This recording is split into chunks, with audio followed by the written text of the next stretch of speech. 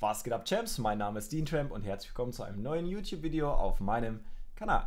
Und ja, ich bin am Wochenende auf Flohmärkten unterwegs und suche dort nach Schnäppchen. Da suche ich nach sehr vielen Dingen, nach Konsolen, Videospielen, Comics, Figuren, Trading Cards und so weiter und so fort. Also wirklich von bis Popkultur und im Bestfall alt. Ja, so Vintage-Retro-Sachen sind so mein Gebiet, mag ich am liebsten und ich war wieder unterwegs und habe Spielsachen gefunden. Und ich glaube, das interessiert euch hier auf diesem Kanal. Auf meinem Hauptkanal Dean Tramp habe ich dazu eben das Live-Flohmarkt-Video hochgeladen. Das könnt ihr euch gerne in der Infobox reinziehen, beziehungsweise ich pinne es euch gerne als Kommi an.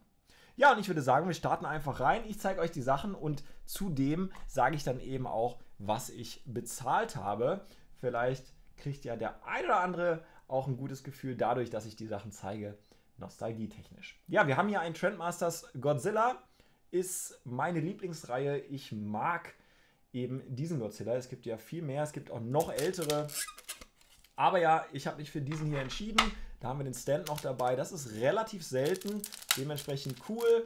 Und wenn man den Fuß bewegt, dann macht er hier sein Maul auf und zu. Ja, extrem nice. Schreibt mir eure Meinung dazu gerne mal in die Kommentare. Kennt ihr diese Spielzeuge? Ich muss sagen, das Silber ist hier echt schön in der Figur verarbeitet. Und ja, an sich habe ich hier für 20 Euro bezahlt. Ich habe nicht verhandelt, habe ihn so mitgenommen. Damit war ich zufrieden. Dann machen wir mal weiter mit diesen beiden Wrestling-Figuren hier. Ja, kennt ihr es wahrscheinlich, beziehungsweise in meinen Augen auch wirklich die besten Wrestling-Figuren, die ganz alten. Da einen Hulk Hogan, da einen Bret Hart, da einen Undertaker. Findet man heutzutage auch nicht mehr so häufig. Ich habe für diese beiden hier 5 Euro zusammen bezahlt und ich habe sie bereits. Dann geht es weiter mit einer Figur, die ich selber richtig, richtig nice finde. Es ist dieser Mattel Mufasa. Ja, kennt man, mag ich. Ich suche dazu noch Scar und den Felsen gerne melden. Feiere ich einfach. Damals sowieso König der Löwen, absolut klassisch. Hat mir sehr, sehr gut gefallen, ey. Ich weiß es noch wie heute. Dann machen wir weiter mit diesem Plüschti hier. Es ist ein Mauzi, es ist ein Vintage Mauzi. Hier haben wir noch das Tag dran. Und ja, Fünfer war es hier bei dem Mauzi. Ähm, ich sag mal so, das kann man machen. Ich war an einem Stand, da waren viele Plüschtiere dabei. Ähm, aber ich interessiere mich eigentlich nur für die alten Sachen. Wenn mein aktuelles Plüschtier dabei ist, dann muss es definitiv günstig sein. Ich habe hier gut und gerne 5 Euro für das Mauzi bezahlt. Und ja, das hier ist die nächste Figur, die ich auch gefunden habe. Es ist ein Tarzan mit Arm, der sich bewegt. Das ist sein Action-Feature. Wenn mich nicht alles täuscht, war hier noch so eine kleine Zwille dabei ums Handgelenk und es war noch eine Schlange dabei. Ähm, ja, das ist die Figur.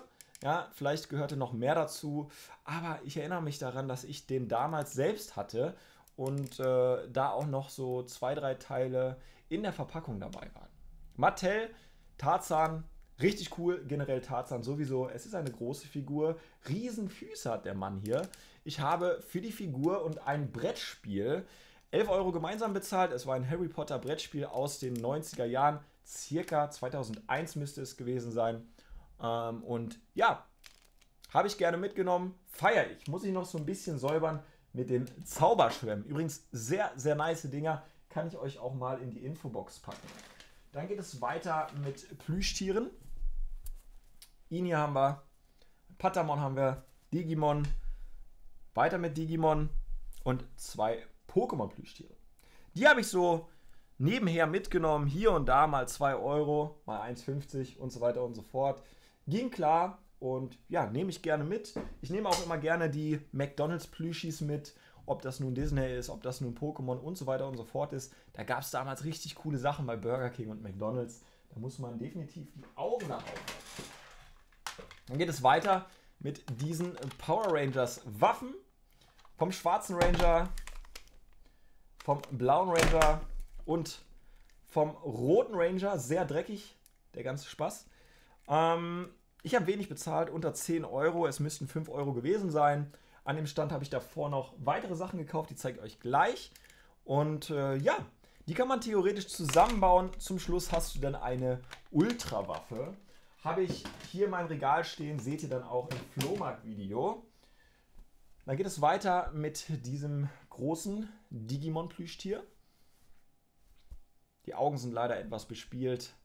Achte ich immer drauf. Ich mag das nicht, wenn die so zerkratzt sind. Habe ich aber für 1,50 trotzdem mitgenommen. Ich denke, das geht hier noch klar. Ja, meine lieben Freunde, das ist die Tüte, die mir am meisten gefällt, wenn ich ehrlich bin. Pack sie aus mit euch. Machen wir das mal so. Starten wir mit den beiden. Bluebird. Ähm, wenn wir hier das Gehäuse öffnen, dann sehen wir den Max. Mighty Max heißt das Ganze.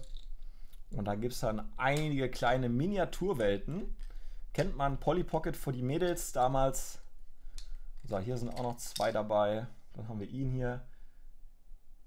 Der Kettensäge.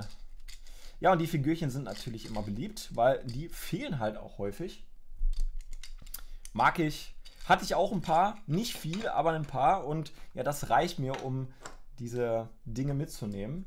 Dann haben wir hier ein paar Starter. Uiuiui, Beyblade. Und drei Vintage Beyblades. Meine lieben Freunde, ich habe hier für alles 15, 17 Euro bezahlt. Ja, für die ganze Tüte sozusagen.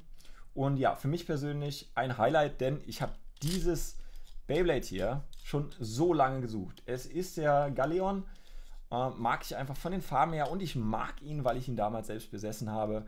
Da hat man dann besonders Bock drauf. Ja, leider ist der hier gebrochen. Ah, ärgerlich, ärgerlich, ärgerlich. Hätte ihn gerne vollständig. Aber ja, was willst du machen? Ich freue mich trotzdem, ihn so zu besitzen. Er ist nicht ganz so wertvoll, aber ich habe jetzt wirklich lange Jahre danach gesucht. Dann haben wir ihn hier noch und wir haben hier noch den Gallmann in, ich sag mal so, Flieder-Optik. Bisschen lila, grün. Schöne Farben, erinnert so ein bisschen an die Turtles. Richtig cool. Wir haben hier noch den, äh, ja, ich sag mal, Kämpfer da drauf auf der Plakette. Die fehlen auch ab und an. Sieht man dann so, die kann man dann da reinklemmen. Und das ist der dritte. Mit noch einem kleinen Action-Feature hier unten. Und in der Regel war es das dann für diesen Tag. Meine lieben Freunde, schreibt mir gerne eure Meinung zu den Funden in die Kommentare was war euer Highlight? Und ja, ich muss sagen, ich bin zufrieden damit. Ich war etwas später auf dem Flohmarkt unterwegs und ja, umso später, umso weniger findet man heutzutage. Aber im Großen und Ganzen habe ich trotzdem noch schöne Sachen gefunden. Vor allem hier die Beyblades. Ich mag den Mufasa. Ich finde den Tarzan geil. Und so äh, bin ich dementsprechend mit der Gesamtausbeute sehr zufrieden. Meine Lieben, wir sehen uns in meinem nächsten Video. Bis dahin, macht es gut und ciao